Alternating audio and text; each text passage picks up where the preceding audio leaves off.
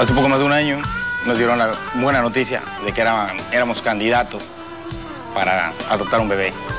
Y pues bueno, fue la noticia más fabulosa de nuestras vidas. Doctor, aquí Rafael vino a contar un cuento de hadas, pero no es la realidad. Le decían que él me estaba engañando, que él tenía un amante desde hace dos años. Eso es una mentira. Pero lo peor del caso es que él es un delincuente, doctora. Él se robó a ese niño. Te voy a decir la verdad. Me dijeron que tenía que dejar una muestra de semen y la dejé. Tal vez pudieron utilizar...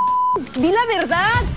¿Y dónde está mi hijo? Además, le dijo que era casado. ¿Cómo te atreviste a hacer eso? Estás tirando la basura no tiene madre.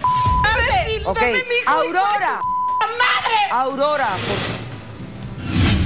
Esta señora, esta delincuente, me robó mi hija. Yo no me robé a nadie, no sea mentiroso.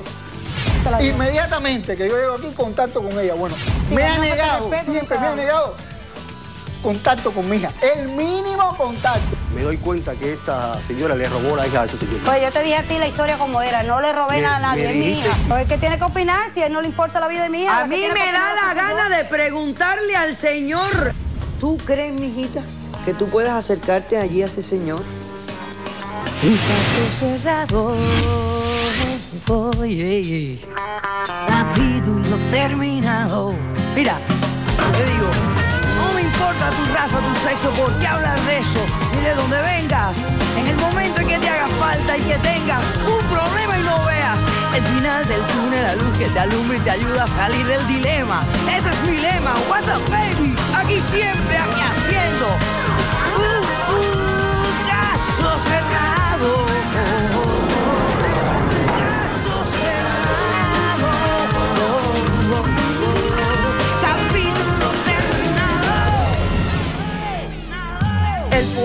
francés Vincent Voiture dijo, me gusta más la verdad cuando soy yo quien la descubre que cuando es otro quien me la muestra.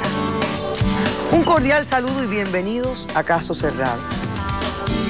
¿Por qué será que nos gusta a nosotros descubrir y que nadie nos diga? Bueno, veamos de qué se trata el primer caso de hoy. Señor director, que pasen los litigantes. Doctor Apolo, después de cumplir nuestro sueño, quiere tirar todo a la basura. No quiero tirarlo a la basura. Quiero que regrese a donde pertenece.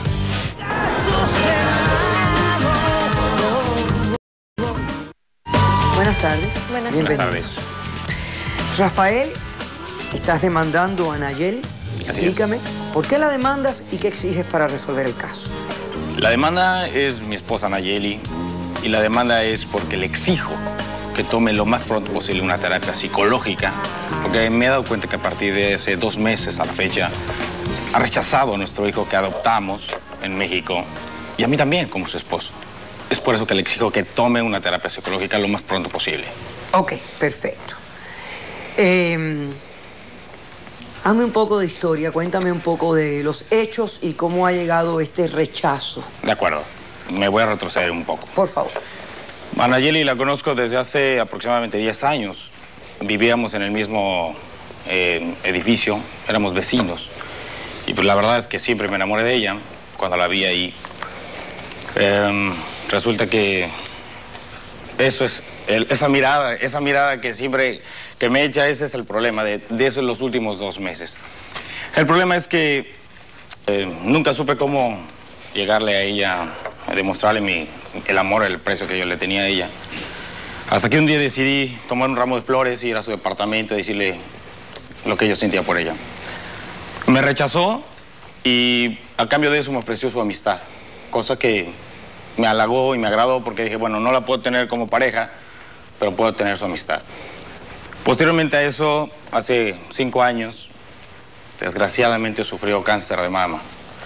Y su familia, sus amigos y el novio que en ese momento tenía ella, la dejaron sola. Eh, como siempre he tenido un gran aprecio y un gran amor hacia ella, yo me acerqué con ella. Estuvimos en las buenas y en las malas juntos, nunca la dejé sola. Siempre estaba yo ahí. Usted sabe que las quimioterapias son fuertes y el apoyo moral que ella necesitaba lo encontró en mí. Y creo que eso me ayudó mucho para que ella se diera cuenta del amor que yo le tenía. Debido a eso, pues me dio la oportunidad de empezar una buena relación con ella y decidimos Se casarnos. enamoró de ti. Así es. Se enamoró de ti. Y me dijo que sí quería casarse conmigo después de que pasara el tiempo de su enfermedad. Y así fue. Pasó el tiempo, nos casamos. Eh, desgraciadamente perdimos un bebé. Lo más triste que nos ha pasado, doctor. ¿Cuánto tiempo llevan casados? Cuatro años. Cuatro años de casados. Eh, Ok. Lo más triste es que perdimos un bebé precisamente por las quimioterapias que recibió. Nos dieron la mala noticia de que ella ya no iba a poder tener hijos.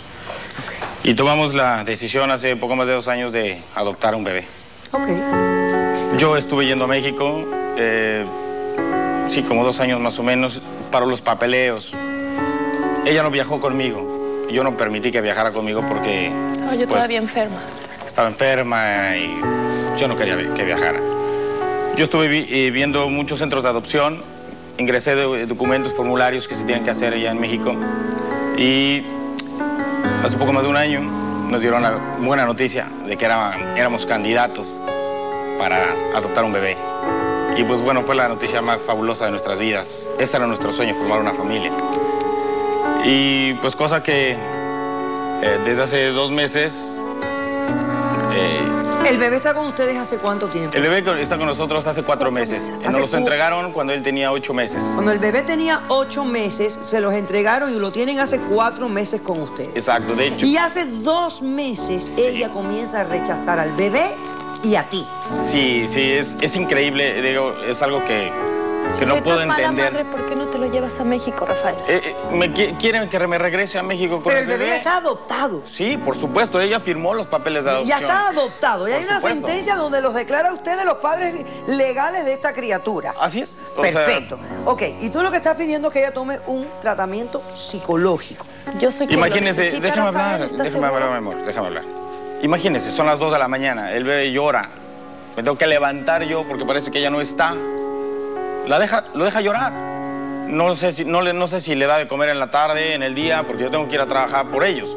Pero no, antes no era así, ¿no? Antes no era así, resulta que ¿Estás ella que no cambió. hay motivo seguro para que no. así? Pero no, tienes eh, ningún oh, eh, motivo. eso me- ¿Seguro, ok, Rafael? no hay motivo, no ha ocurrido tiene ningún algo, motivo. no hubo un evento, no algo pasó. Yo siempre he sido fiel con ella, nunca hemos tenido problemas, es el amor de mi vida.